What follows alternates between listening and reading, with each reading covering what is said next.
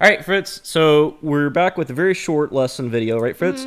That we're going to do a joystick calibration because we've been having problems. We both had problems with the joystick um, while we were playing because things kept rolling to or yawing to the right. So if you could see, you see the yaw. So let go and don't like don't like take your hand off. You see how it kind of sticks to one side. And I could say use this position as center, but then it still doesn't do anything and doesn't fix it.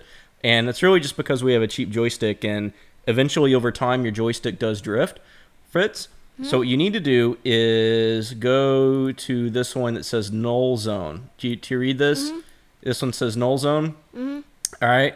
And you take your hand off everything. Take your hand off. And it says center yoke and pedals and hit this button. Mm-hmm. So that's at the center right now.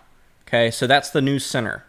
And what I did with this null zone, the null zone is a area to where it there's a little play in the joystick mm-hmm. to where then if you if you touch it, you have to go a certain amount before it actually even registers movement. Mm-hmm. Do you, does that make sense? Mm-hmm.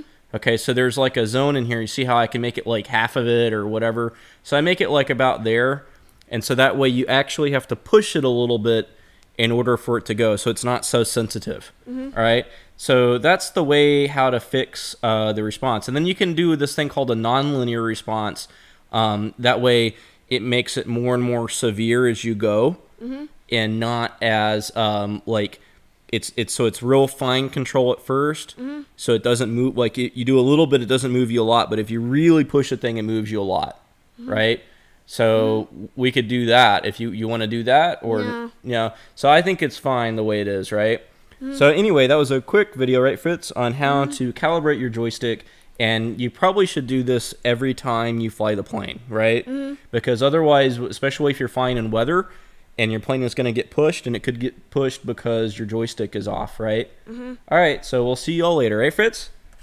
Bye. Bye.